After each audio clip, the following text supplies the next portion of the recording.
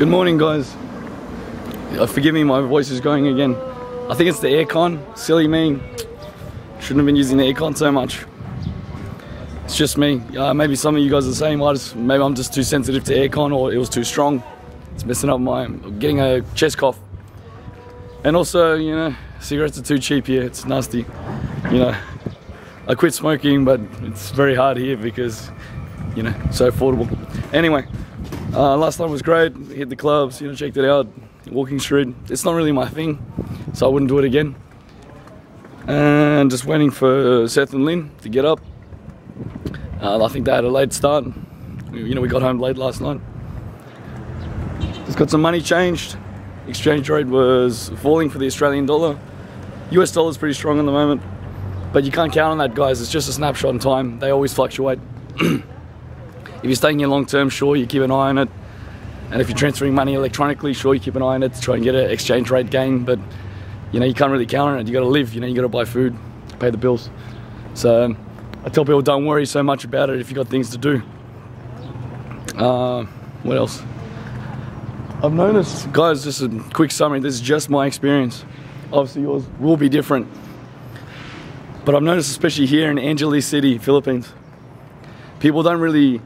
I've, I've noticed foreigners don't want to talk to you. They, they, like you know, try to be friendly, whatever. They don't want to talk to you. They don't want to know you. They're doing their own thing. Maybe because they're here for a couple of months or they've been here a couple of years, trying to enjoy retirement. Who knows? But I just found that they don't want to know you. Maybe because I'm younger too. the younger guys are usually idiots. I'm sorry to say that, but a lot of the younger guys we bumped into, some may be cool. But there was an altercation last night. We had a great night. We went to the clubs. We were just trying to get some takeaway food to come back home. And it's, you know, these three young American guys acting like idiots. Not all young. One was maybe in his 20s, one was in his 30s, and one looked like he was in his 40s. Um, you know, they didn't tell me their ages, but that was the problem. They didn't tell me their names. They didn't tell me who the, where they were from. I was like, hey, where you guys from? You know, like, you sound American. What are your names? They wouldn't tell me.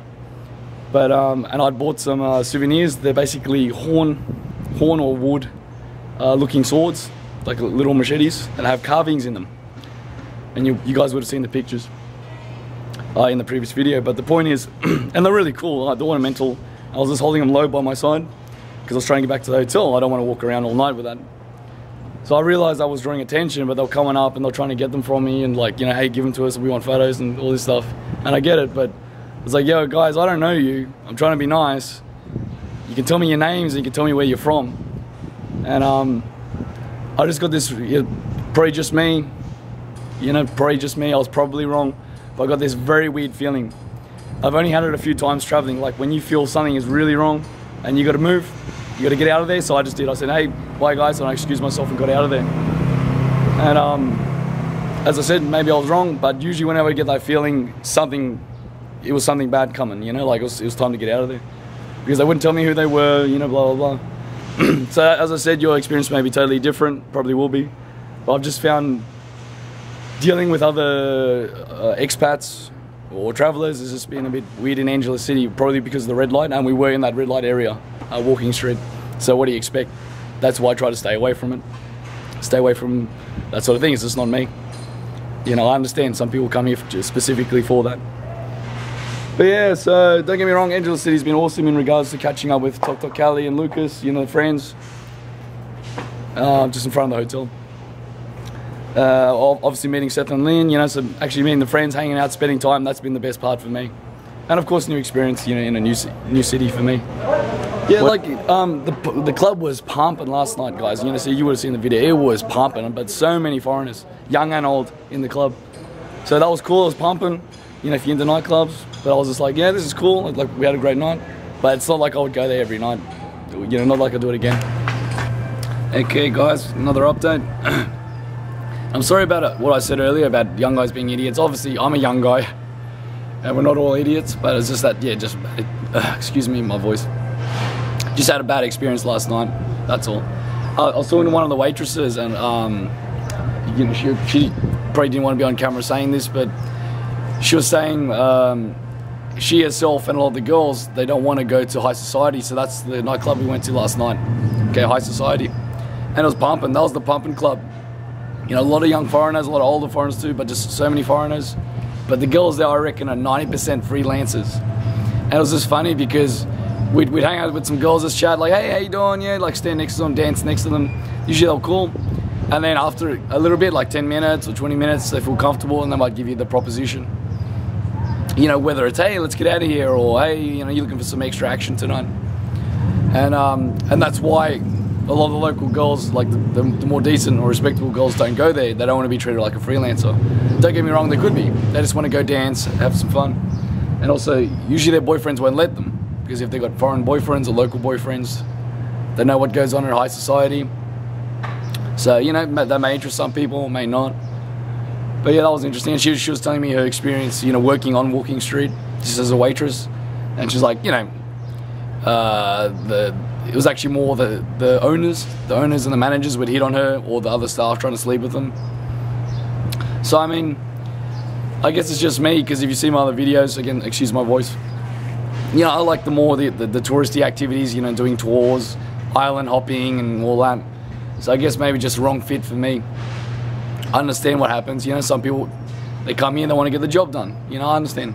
So maybe that was just part of it where I'm, you know, I'm not getting along with the other the other uh, foreigners here because you know they're not particularly here to be friendly like me and make friends and hang out and go do tours and whatever. they're here to you know boom boom boom get that action, you know, uh, and that's fine. There's nothing wrong with that. You know, it's a different type of tourism though. That's all. So I guess maybe just bad fit for me. But like I said, you know, sorry if I offended anyone. I'm wearing this awesome shirt because I, of the laundry day. So I took off my other shirt because it was dirty and put in the laundry and I want to wear my new cool shirt from Clark Mountain Firing Range. And uh, yeah, just chilling out. I just just got some rest, just got some more bed rest. As you can tell, there's no point in me going out doing things if I'm just going to get more sick. Now I'll just give another update.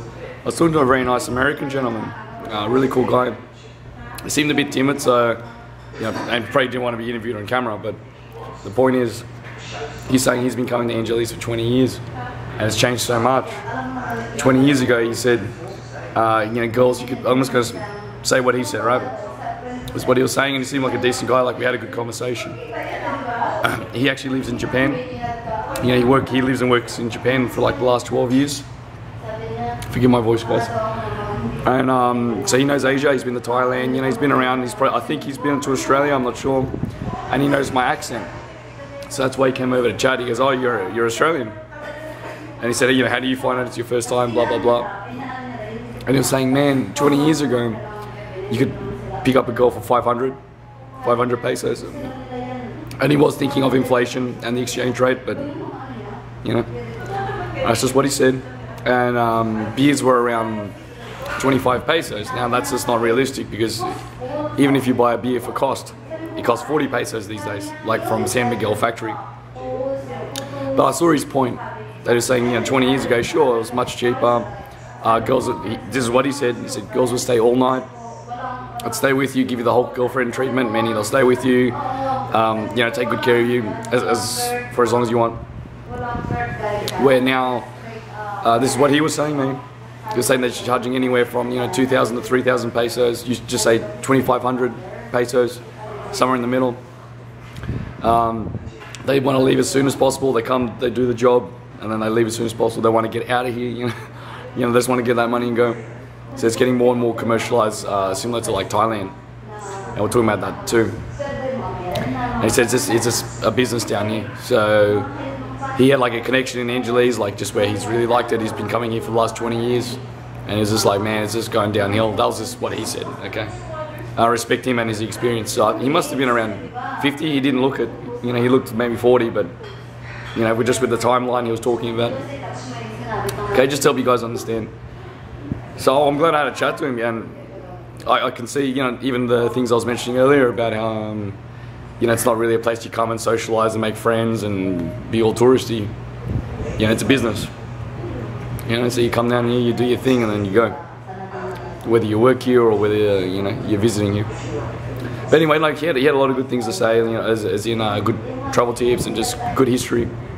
Very nice, like you tell, it's a very nice gentleman. We talked about technology and stuff too. But yeah, just thought that might be interesting. All right, thanks for watching, guys.